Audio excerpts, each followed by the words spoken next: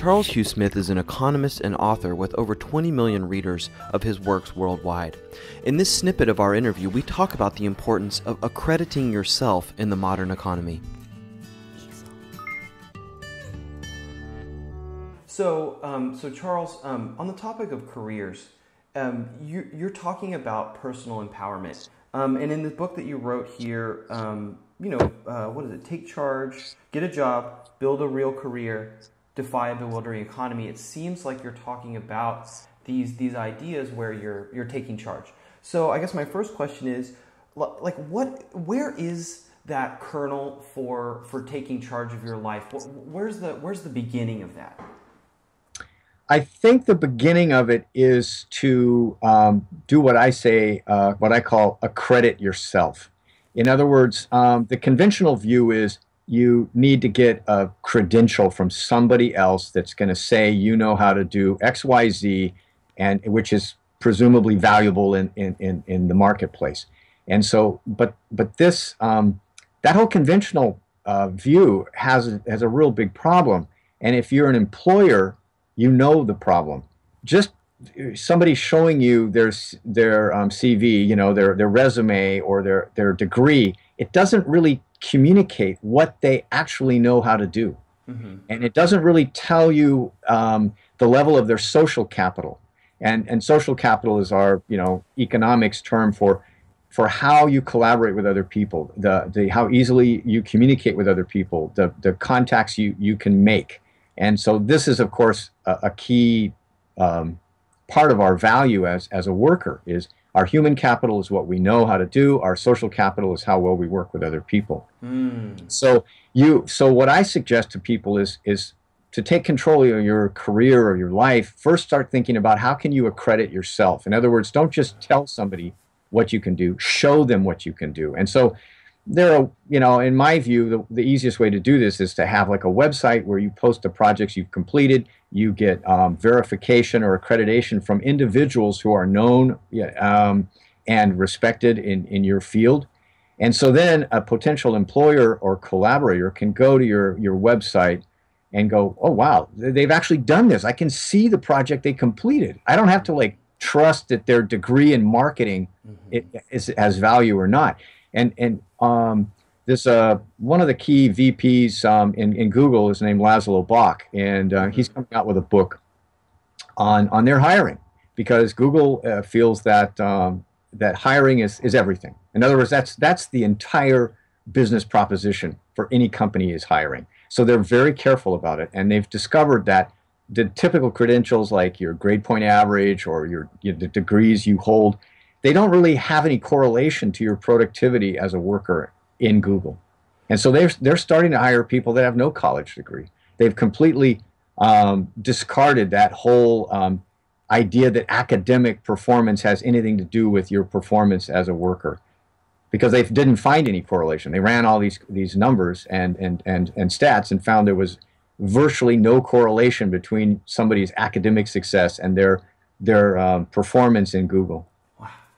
So um, that's fascinating. So I mean, I guess you know the when I was reading um, through some of the reviews of, of the book that I mentioned um, in this segment here, you know, I, uh, people were, were, were, loving it. I mean, and, and I personally, actually, you know, just just for what it's worth, um, I feel like you know, coaching and people like Tony Robbins for for a while were considered these kind of hokey. You know parts of, of, of, our society. And now more and more i think this message of empowerment and turning people on to being empowered is seen as really valuable. But it's not something that is that like can be you can't just go to a class on that. And so i guess to, to really build on this i'm wondering the only criticism i read in the reviews is like that, that being empowered and taking charge is great for these people who, who have passion and feel comfortable with taking charge of their life already. So, what would you tell to the person who's timid, um, who maybe has something to risk, like, like you know, their income stream is subsidizing their, their, their kids or, or whatever, something like that? Well, I think there's definitely a place um, for um, jobs that are reliable. In other words, these would be um, government, you know, or state jobs or um, jobs in the corporate sector that are, are typically controlled by the government, which would be healthcare, national defense, these kinds of things. These jobs are quite secure.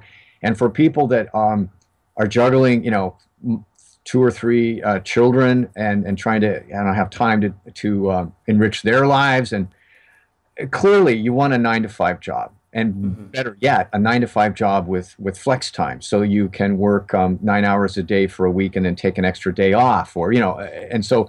If for, for those people, I would say try to find an employer who is sensitive to these needs uh, of the family, and okay. so and and so and there's nothing wrong with um, putting your you know your passion on hold and just um, finding a job that's that's steady, reliable, and then my advice beyond that is don't get over your head in debt to where you need two incomes to survive. You know, keep your expenses always, always, always below your income, so that if your hours are cut or one of the uh, one of the um, the working members in the family loses their job, that you're not um, suddenly under tremendous financial stress.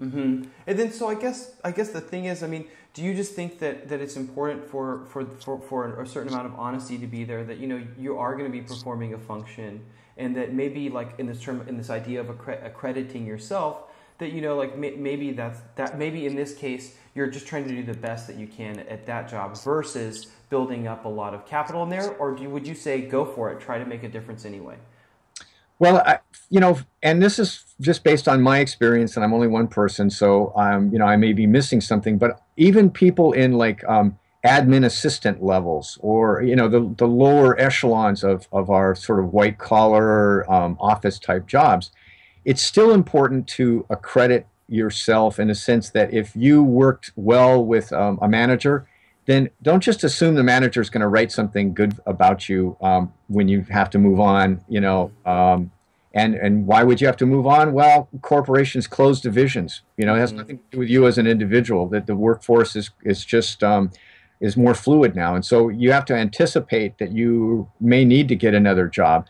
And so, get the manager to say something about you know good about you in, in writing while you have the job mm-hmm, mm-hmm. and, and, and document the projects that you've helped um, other people complete even at the level of, of admin assistant and and so what i see people struggling with is they um, when they have to get another job they have no documentation themselves except the resume and whatever um, credential they may have they may have earned and this is just not enough for an employer to realize your true value mm-hmm. you know kind of have to make the case for yourself, not by bragging or anything, but just by documenting the things that you've helped see through.